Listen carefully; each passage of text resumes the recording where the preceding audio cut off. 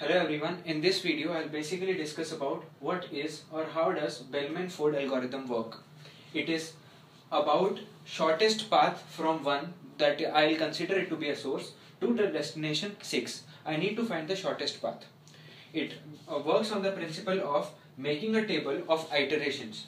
Iteration 1 or the initial case is when both uh, uh, when every node that is from node 1 to node 5 only I'll consider, I'll not consider node 6 because I have to reach there will be minus 1 comma infinity. I'll explain the meaning of them. That is the initial iteration. Now minus 1 indicates that I do not know which is my next node and infinity indicates that my distance to sixth node that is my destination is infinity because I do not know which is my next node.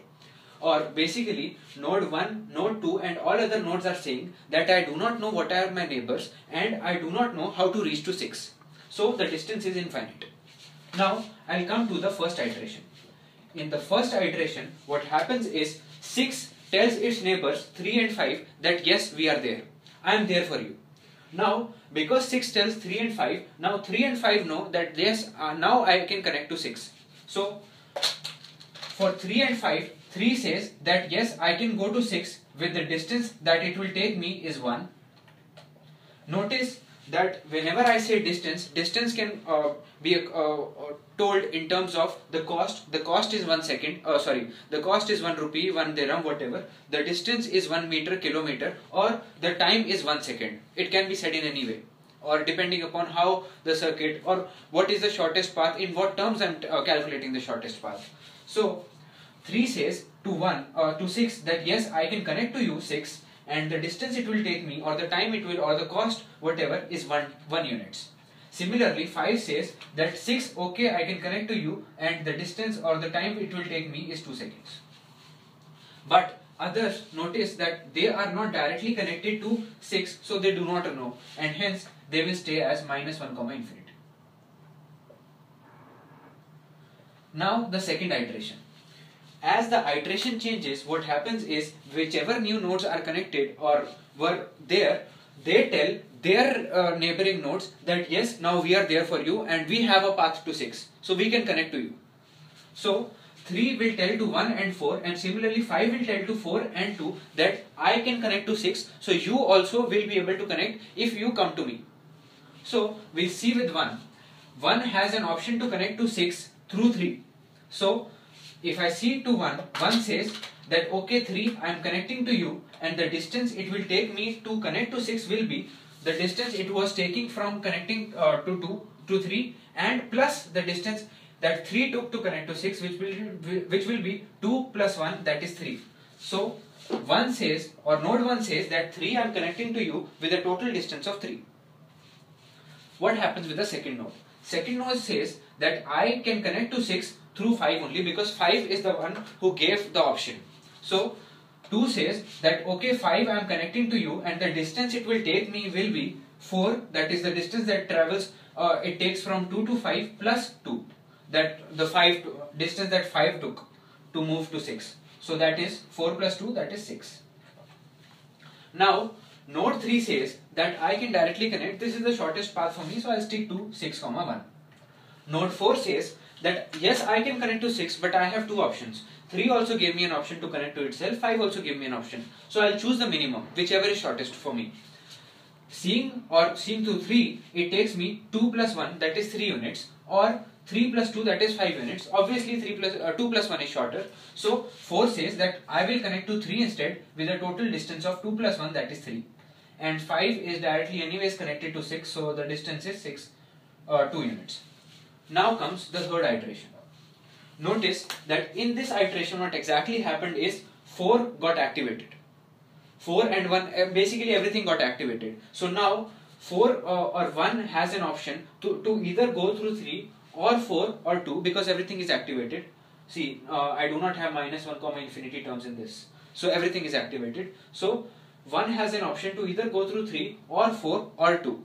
So node 1 says that if I go through 3 I have an option uh, 3 takes a distance of 1 So 2 plus 1 that is 3 or I can go through 4 which takes me 5 plus distance taken by 4 is 3 so 5 plus 3 8 obviously this is shorter. Or I can go through 2 and the distance it takes me is 3 plus the distance taken by 2 is 6 so this is 9 obviously this is shorter. So it will stick to 3 comma 3 next comes node 2 node 2 says again I have an option to go through either first node or fourth node or fifth node if I go through the first node, the distance it will take me will be 3 units plus the distance taken by the first node which is 3. So it is 3 plus 3 that is 6. Now if I choose this path then it takes me the distance it travels from 2 to 5 that is 4 plus from 5 to 2 which is 2. So it is 6. So I have an option I can either go from 1 to 3 to 6 or from 5 to 6. Uh, let it uh, let just stick with 5 comma 6 for the timing. Uh, by the way there is one more path, alternative path, which 2 can choose, it that is, it can go from 4 to 3 to 6, uh, because 4 chose that path.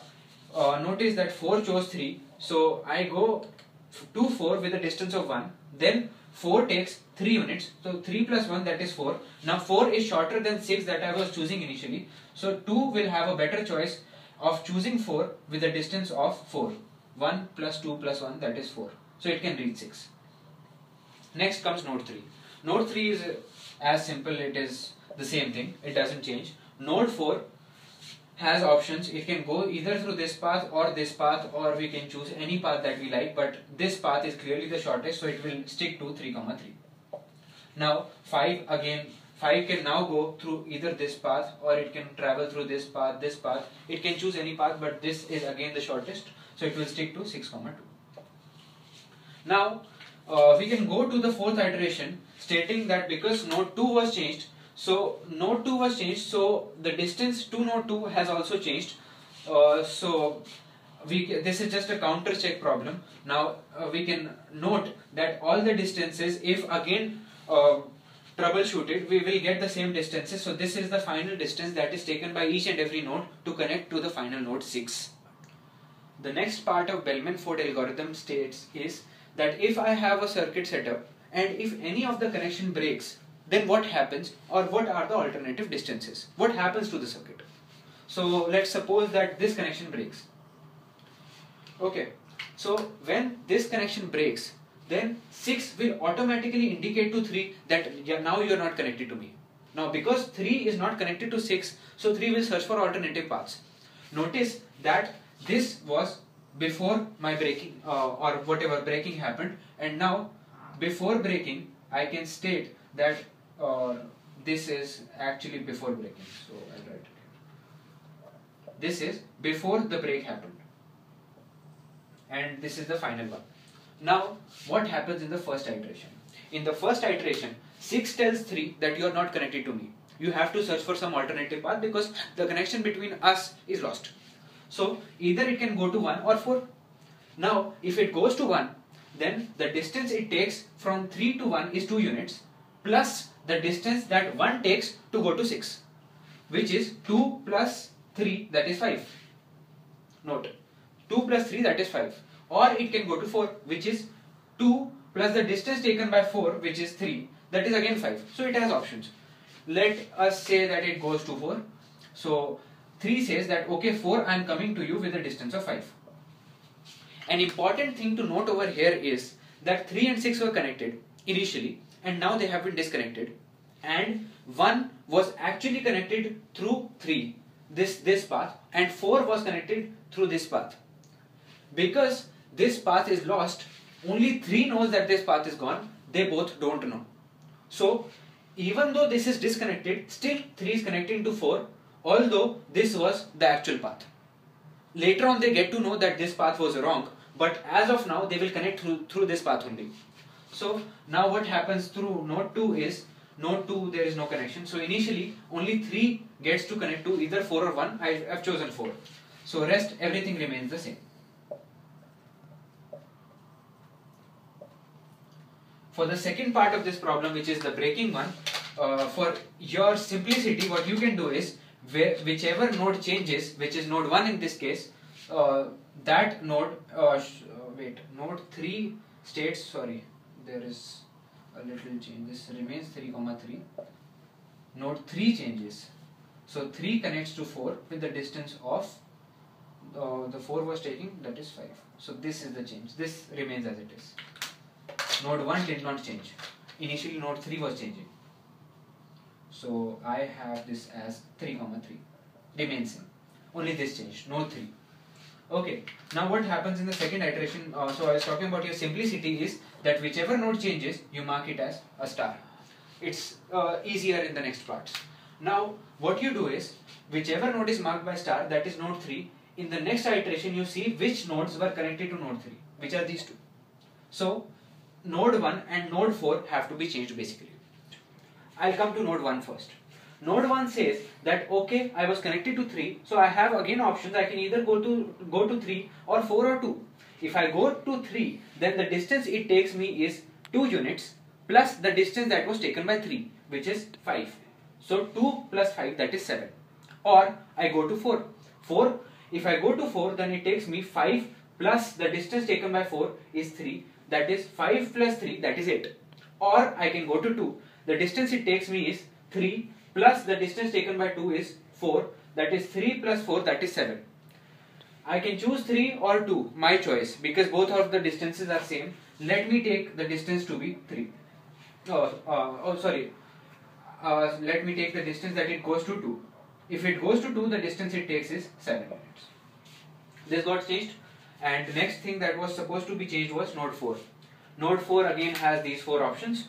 If I go to the first option that is 3, then 3 the distance it takes me is 2 units plus distance taken by 3 is 5. So 2 plus 5 that is 7. So one option is 7 units plus or I can go to 1 which is four, uh, 5 units plus 3 notice that I do not consider this iteration. I see the previous iteration. What was the distance that the previous iteration was taking? So the distance is 5 plus 3 that is 8 which is greater than 7 so this is better so, so far and if I go to 2 then the distance I take is 1 plus 4 that is 5 which is now be best so far. Or I can go to 5 and the distance it takes me is 3 uh, plus the distance that 5 takes which is 2 so 3 plus 2 that is 5 so either I choose this path or these these two paths are the optimum. Suppose I choose 5 it seems closer so whatever. So suppose I choose 5 so node 4 gets connected to 5 it says that 5 now I'm coming to you and the distance it takes me is 5 minutes. rest everything remains same so this stays as it is. 4 comma 5 so this becomes 4 comma 5 and this is 6 comma 2 okay now uh, these have been marked with star because they have been changed. Node 1 and node 4 were changed. So now in the next iteration that is the third iteration node 1 uh, whichever were connected to node 1 and node 4 have to be changed. Notice that none of them is connected to node 1 so only two of them are connected to node 4 so basically node 2 and node 3 have to be changed. None of them uh, everyone everything else remains the same. Now I'll come to node 2 so because node 1 is getting changed uh, I'll write it later so node 2 is getting changed. Now node 2 is over here. It has options to either go to 1 or 4 or 5 suppose it goes to 1 so it takes distance 3 to go to 1 plus the distance that 1 takes which is 7 so 3 plus 7 is 10 or it can go to 4 which is 1 plus distance taken by 4 is 5 which is 6 units. Or it can go to 5 and the distance taken by 5 is 4 plus 2 4 plus 2 that is 6 again. So it has option either and it can go to 4 or 5 it was uh, one was uh, wait two was uh, actually connected to 4 so let it stay uh, stay with 4 and the distance it takes is now 6 instead of 4 it got updated.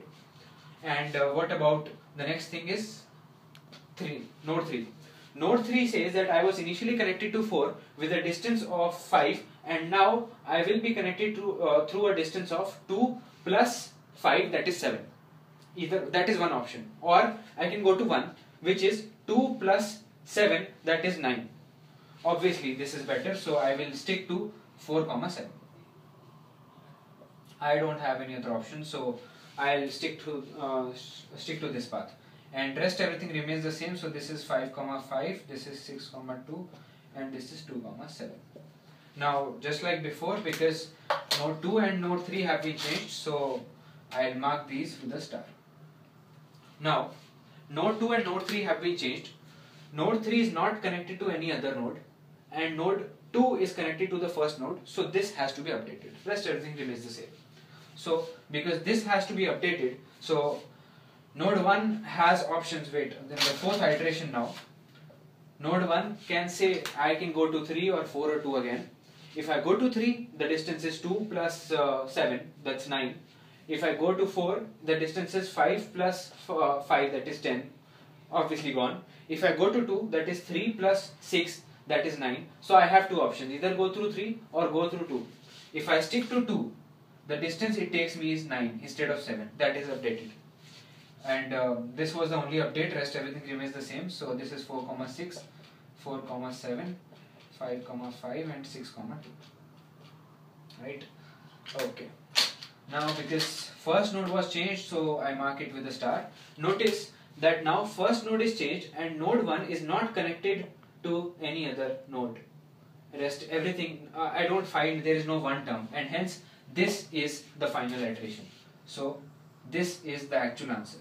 Now because this was disconnected so these are the revised paths which the nodes have to choose in order for the circuit or the distance or the connection to be established. And this is how Bellman-Ford algorithm works